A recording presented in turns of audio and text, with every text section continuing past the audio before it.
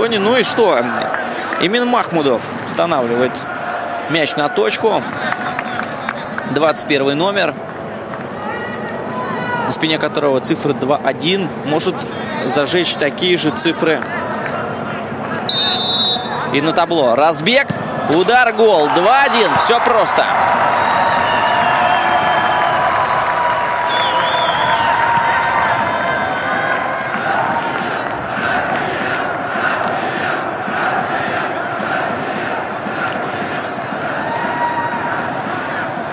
Мяч забил Эмин Махмудов, номер 21, сборная России.